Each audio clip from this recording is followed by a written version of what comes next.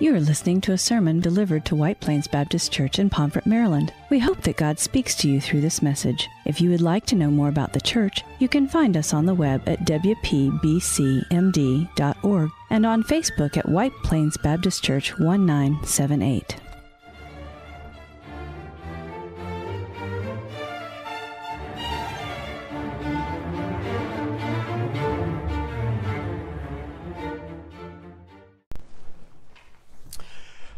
Well, good morning, everyone. It's great to see you today. And I want to thank Doug for filling in for me last week. And Eastman was prepared if I couldn't come this week, so I'm thankful for him as well. And the fact that we have men in our church who are able to open up God's Word and share His truth with you. So if you have your Bibles with you today, turn with me to Psalm 40. The sermon's going to come from different portions of this psalm, but we're going to open up this morning with verses 11 through 17. So, Psalm 40, starting in verse 11.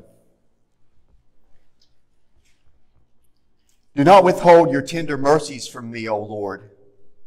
Let your loving kindness and your truth continually preserve me. For innumerable evils have surrounded me my iniquities have overtaken me so that I'm not able to look up. They're more than the hairs of my head.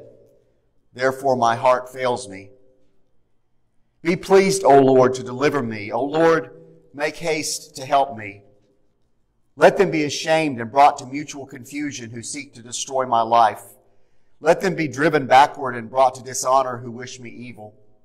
Let them be confounded because of their shame who say to me, Aha, aha, let all those who seek you rejoice and be glad in you.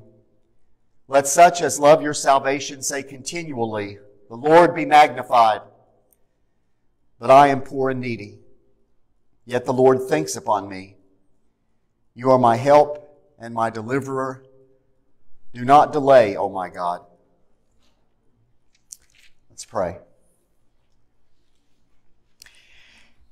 Father, I thank you for your great mercy and your steadfast love. I thank you, Father, for the fact that we can call out to you no matter what we're facing in life, knowing that we have a God who not only hears, but is able to move and to act. Father, I thank you for the wonder of who you are, that it doesn't matter where whatever is happening to us in life has come from, whether it's come from the hand of the enemy, from the hand of our own foolishness, whether it's the result of our sin, whether it's in line with your will, Lord, that you're able to take everything, Father God, regardless of its origin, and use it for your purposes. And we thank you for that, God. We exalt you in that. We thank you for your word, Lord, for the truth that it reveals to us and we ask for that revelation now. I pray that you'd set a guard over my lips, that I would speak those things that are right and true, and that you'd be exalted among us today in Jesus' name. Amen. You may be seated. Have you ever faced those times in your life when the world seems to be crashing down around you? When it seems that everything that can go wrong is going wrong and you cry out to God for help and the only answer is silence. The problems continue, the struggles grow worse, and you don't know what to do, you don't know where to turn. All that you know is that there's a deep frustration and ache in your soul for which there seems to be no remedy. How do you respond during those times? To whom or to what do you look for help? And if you've tried everything you know to try and deliverance still doesn't come, then what? Well, that's the dilemma with which the writer of this psalm is concerned. We don't know the exact situation that prompted this psalm by the poet King David, but we do know that what he writes about in this psalm speaks to the struggles that all of us face at one time or another. And David's extreme language in parts of this psalm leave no doubt as to the severity of his trouble. Verse 12 reads, For innumerable evils have surrounded me. My iniquities have overtaken me so that I'm not able to look up. They're more than the hairs of my head. Therefore, my heart fails me. So the picture here is not of a person who's struggling a little bit, but of a man who is truly overwhelmed. He can't even count all the things that seem to be going wrong or all the things that he's done wrong in his life. If he had it to do over again, he'd do so many things differently. And yet, of course, he doesn't have it to do over again. And so he carries around this burden a burden so great that he tells us in verse 12 he isn't even able to look up. It's the picture of a man with a heavy load on him, so heavy that his back is stooped over nearly parallel with the ground, bent so far toward the ground that even when he raises his head to see where he's going, all he sees is just the ground in front of him. That's how David feels. So discouraged and so helpless that he describes his situation in verse 2 of Psalm 40 as a horrible pit and miry clay. And I love David's metaphors. They're very visual and don't leave any room for doubt as to what he's feeling. And because of that, I think we're able to empathize more with David because we've been where he is. We've felt what he's felt. So the passage speaks to us. The truth applies to our lives. So what are the truths of this psalm? How does God tell us to respond when life comes crashing down around us? What should we do when the burdens we're carrying seem so heavy that we're not even sure we can take another step? We'll look in verse 4.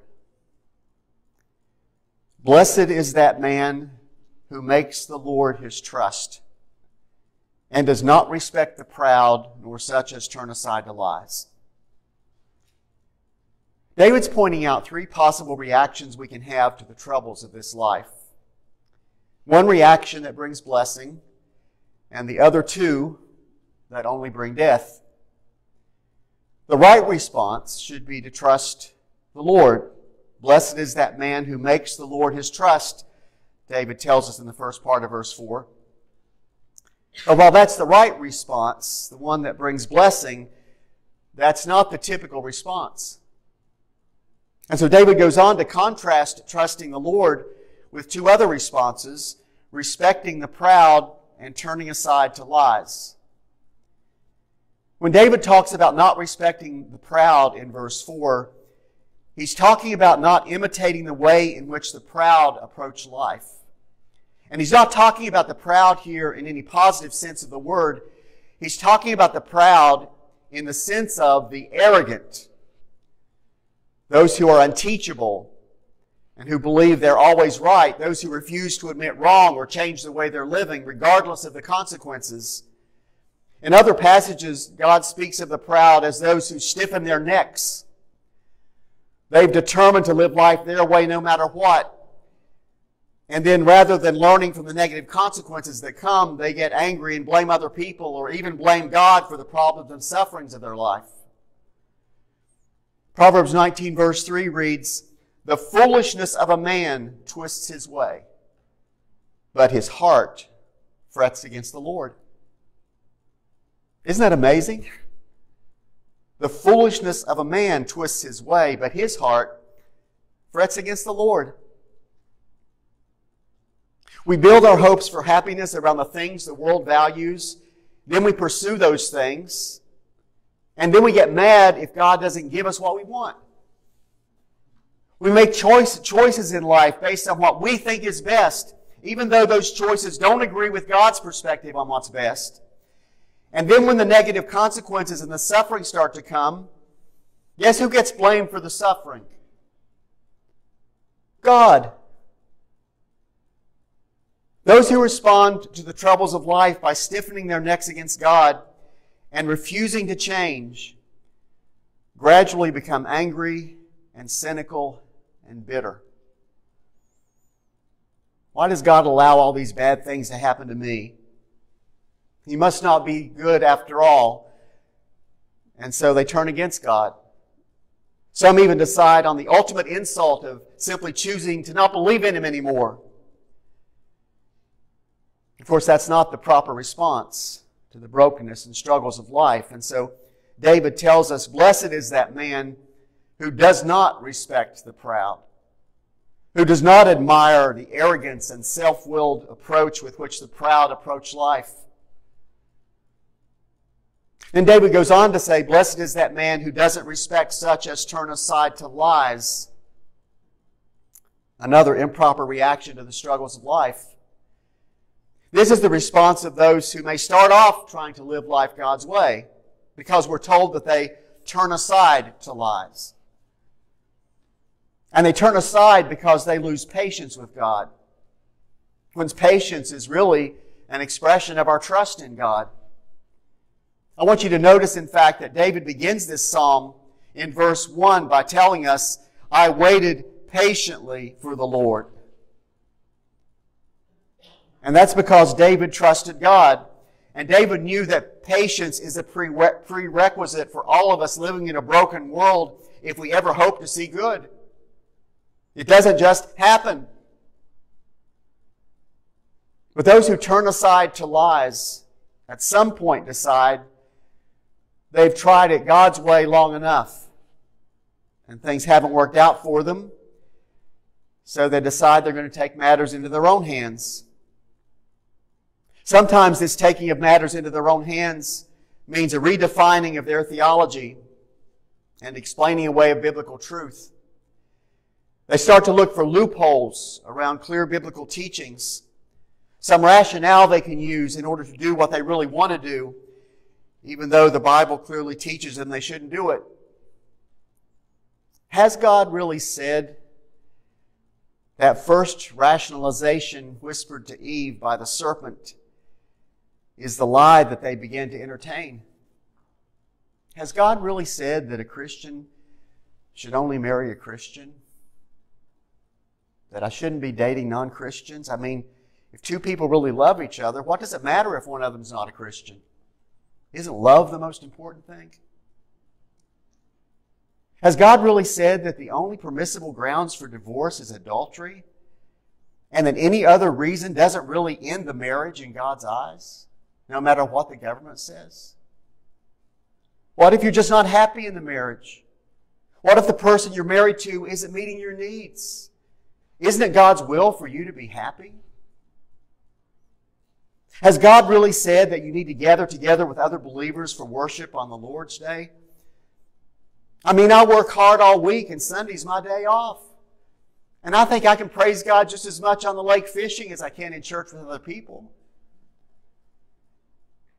Has God really said that Jesus is the only way to God? What about people in other religions who sincerely believe what they believe? What about all those people who never heard about Jesus?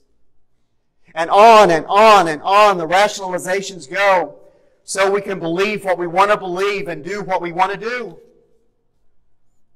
Attempting to redefine or explain away clear teachings of the Bible or find loopholes around what God has said so you can do what you want to do is one of the ways people turn aside to lies whenever they're facing difficult situations or situations in which they believe God's way isn't going to work out for them. But there's also a second way that people can begin to turn aside to lies whenever the problems come. And that's by beginning to believe that God doesn't really love them that he really doesn't have their best interests at heart, that they can't trust him.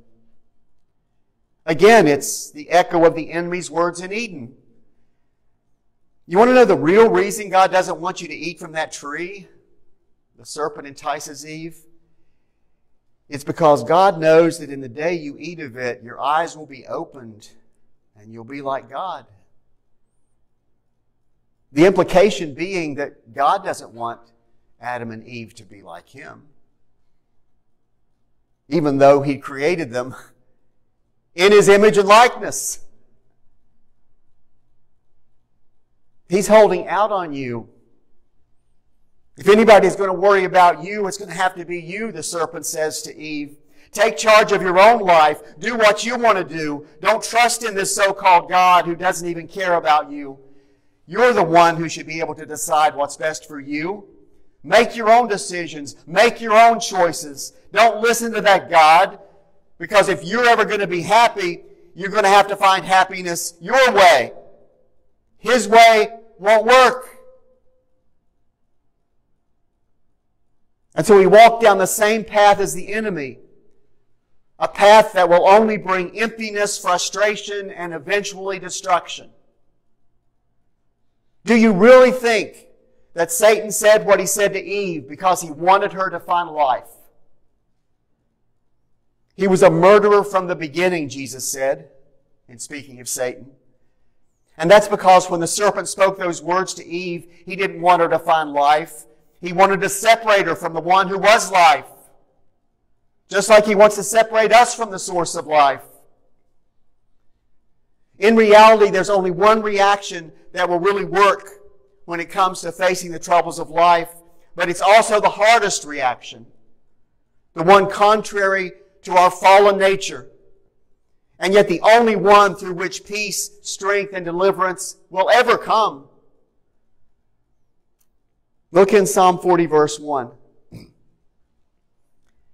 I waited patiently for the Lord, and he inclined to me and heard my cry. He also brought me up out of a horrible pit, out of the miry clay, and set my feet upon a rock and established my steps. He's put a new song in my mouth, praise to our God. Many will see it in fear and will trust in the Lord. Blessed is that man who makes the Lord his trust and does not respect the proud, nor such as turn aside to lies. Many, O Lord my God, are your wonderful works which you have done, and your thoughts toward us cannot be recounted to you in order. If I would declare and speak of them, they are more than can be numbered. Trusting in God is the path through the difficulties and hurts of life not respecting the proud, not turning aside to lies, but continuing to trust in God. So what is it that enables us to continue to trust the Lord when the hard times come? What gives us the strength to wait even though deliverance seems to take so long? The answer is in verse 5. Many, O Lord my God, are your wonderful works which you have done, and your thoughts toward us cannot be recounted to you in order. If I would declare and speak of them, they are more than can be numbered. If you're going to be able to trust in God, to hang in there when the hard times come, it's going to be because you believe that God is able to do wonderful works and that God loves you, that He's on your side. And that's what David's talking about in this verse. It's the truth of which he has continually reminded himself as he's faced the difficulties of life. Verse 5 Many, O Lord my God, are your wonderful works which you have done. And your thoughts toward us cannot be recounted to you in order. If I would declare and speak of them, they are more than can be numbered. David remembers who God is. Several years ago, when I was visiting in Los Angeles, I went up to the Griffith Park Observatory that overlooks the LA Basin. And at the observatory, they had a number of exhibits dealing with astronomy. As I walked around, I was reminded again and again of how special we inhabitants of planet Earth are in this universe. One of the exhibits was a model of our solar system with the planets going around in their orbits and rotating on their axes. And it was eye opening to look at the Earth in the midst of that solar system. Some planets were spinning around so fast on their axis, and others barely rotating at all. And then there was the Earth, a very even paced, steady rotation. Some of the planets were orbiting the sun quickly, if they had seasons on those planets, the seasons would have maybe been weeks. Other planets crawled around the sun. Winters would have lasted years on those planets. And then there was the earth. A steady 365 and a quarter day cycle around the sun, four even seasons, the planet shifting on its axis so that the heat is better distributed on the planet over the course of the year. Then I walked around to where they had a display dealing with asteroids. One panel of the display mentioned that each year 1,500 asteroids weighing 200 pounds or more enter our atmosphere and strike the Earth. And yet, in recorded history, there's only one reported case of anyone ever being killed by one of those asteroids. Another time I was visiting with some seminary friends in Texas while spending some time with them, and they took me to SeaWorld. And the aquarium there was filled with all of these weird looking and colorful creatures. I mean, honestly, some of the creatures, you, you think they were invented by science fiction writers. And the colors were just extraordinary. Like something no artist could ever create. And God created them, each one of them.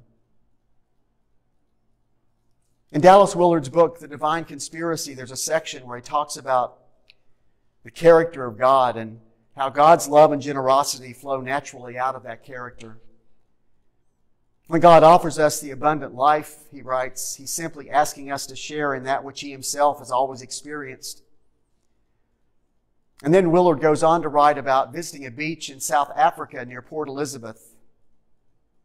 I'd seen beaches, or so I thought, but when we came over the rise where the sea and land opened up to us, I stood in stunned silence and then slowly walked toward the waves. Words can't capture the view that confronted me. I saw space and light and texture and color and power that seemed hardly of this earth. And gradually there crept into my mind the realization that God sees this all the time. He sees it, experiences it, knows it from every possible point of view. This and billions of other scenes just like this.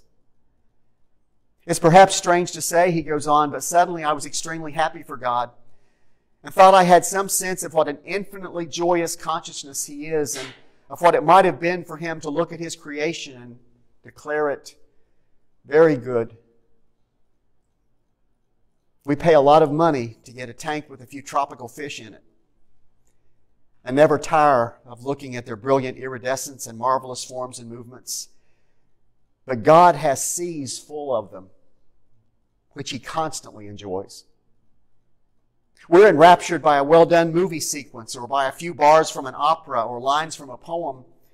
We treasure our great experiences for a lifetime and may have very few of them, but God is simply one great, inexhaustible, eternal experience of all that is good and true and beautiful and right. Many, O Lord my God, are your wonderful works which you have done. And your thoughts toward us cannot be recounted to you in order. If I would declare and speak of them, they're more than can be numbered. And so this is the God we come to. A God of matchless wonder, beyond your imagination, creativity, limitless power, boundless love. David closes out Psalm 40 in verses 16 and 17 by writing, Let all those who seek you rejoice and be glad in you. Let such as love your salvation say continually, The Lord be magnified that I am poor and needy, yet the Lord thanks upon me. You are my help and my deliverer. Do not delay, O oh my God. Only you and I could have David's perspective. Look at what it produced in his life. Instead of complaining about what he didn't have, David was grateful for what he had. Instead of choosing sin in the midst of his problems, throughout most of his life, David decided to trust and obey in the only one who really is God. Instead of being overwhelmed and hopeless in the midst of his struggles, David always held on to hope. And that makes all the difference, really, doesn't it? To live a life of hope because of who you know,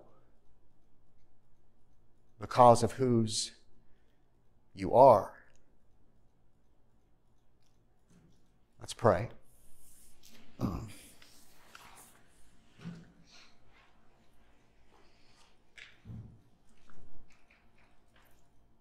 You know, I don't know that we understand how big our God is. there was a book written a number of years ago called Your God is Too Small. And that's really our problem. Not that our God is too small, but our perception of Him is so small. Even though all of creation heralds His majesty.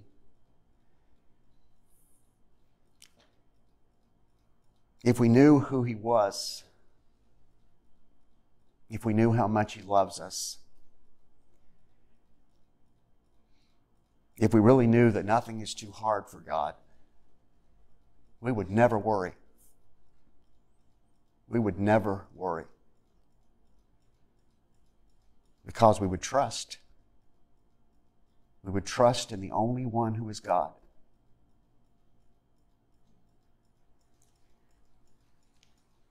And so ask God to help you grow in your knowledge and love of Him. Because that's where trust is going to come from.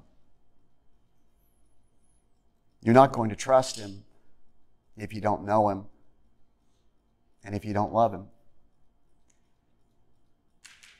If you don't know who He is, how much He loves you.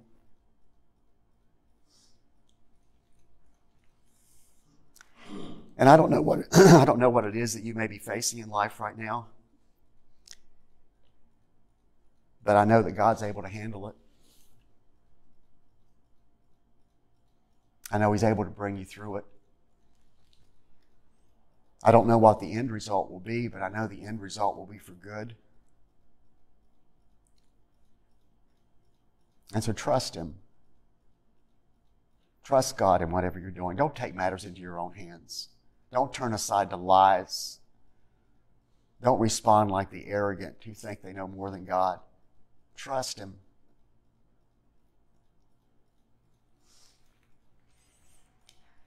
And while you're talking with God about these things, maybe you're with us today and you haven't yet come to a place of acknowledging Jesus Christ as your Savior and Lord. The Bible tells us that if you confess with your mouth the Lord Jesus and believe in your heart that God has raised him from the dead, you will be saved. And the reason that both your mouth and your heart are mentioned there is because words aren't always an expression of our heart. But if they are an expression of our heart, if we understand our need of a Savior and the sufficiency of Jesus as that Savior, then our words are powerful enough to bring about salvation. And so if you're with me this morning, you're with us this morning, and you'd like to know this great God, there is only one way, and that's through His Son Jesus. I am the way, the truth, and the life, Jesus said. No one comes to the Father except through me. And so, if you want to know God, you've got to know Jesus. And you can know Him. You can find forgiveness. You can find a relationship with God, you can find salvation. If that's where you are this morning, if you would raise your hand, I will lead you in a prayer of commitment. The words aren't magical, but if they are expressions of your heart, this will be the day of salvation. All you need to do is raise your hand. You're not sure where you stand with God but you want the salvation that He freely offers.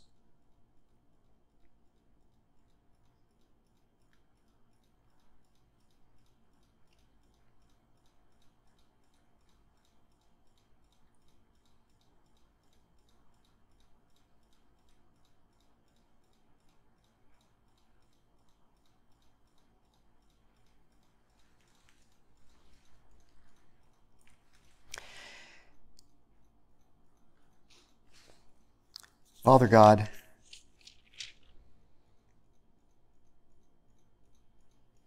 many, O Lord, are your wonderful works which you have done. And your thoughts toward us cannot be recounted to you in order. If I would declare them and speak of them, they are more than can be numbered. What an amazing truth, Lord. What an amazing truth this verse proclaims.